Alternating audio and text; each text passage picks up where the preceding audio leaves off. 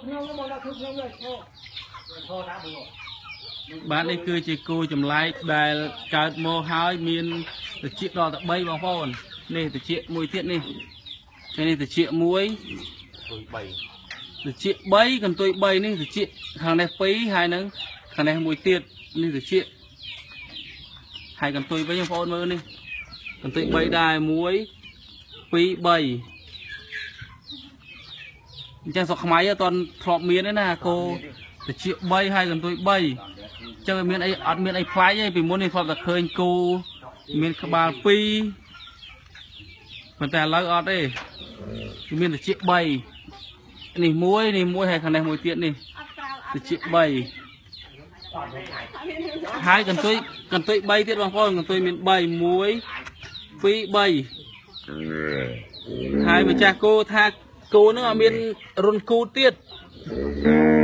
អញ្ចឹងគិតមិនលើបើអត់មានរុនគូតអញ្ចឹងយីឈ្មោលអមយីឈ្មោលគូឈ្មោលមកពងបាទមកពងឲ្យវាក្រោមនោះខាងនោះពងខាងនោះអូបងប្អូនពងមាន2ទៀតនោះអាពងនោះនឹងពងកន្លែងណានេះ នេះពងនេះមួយអូនេះផ្សិតអូនេះផ្សិតហើយនេះពងនេះយួរនេះឡើយអូមិនចាំនេះហ្នឹងហ្នឹងមួយហើយនោះមួយនេះដូចសិតពីរមែនផ្សិតតែមួយនេះពងក្តោវាហ្នឹងហើយនេះស្វិតវាមុខនេះផ្សិតអឺនេះអាចចាំហោងអីនោះហ្នឹងឡើយនេះហ្នឹងហ្នឹងគេគេនេះអត់វាហីអត់គូតចឹងហើយជូអាចតាមណាទៅហើយទាំងពីកើតមកអត់ទាន់មានជូហើយនេះអូននេះជុកជុកអត់នោះអត់ងាប់ហើយចឹងគិតមិនទៅ នេះបើមនុស្សយើងវិញអាចវះបានអត់គូអញ្ចឹងគិតមិនទៅវាបានពេទ្យសត្វបងប្អូនមើលនេះកតុយ3ហើយជា3ហើយមានគូតទៀតបើយើងដើររួចទៅ đây លោកពេលតាប់ឲ្យមើលតែអត់អត់មានគូតទៀតលើព្រួលលើព្រួលនេះតិចបងប្អូនតិចមួយទៀត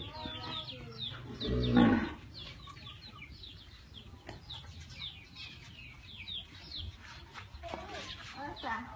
នេះអ្នកម្ដាយរបស់វានេះអ្នកម្ដាយរបស់វាហើយចឹងដើររួចណាពូនេះ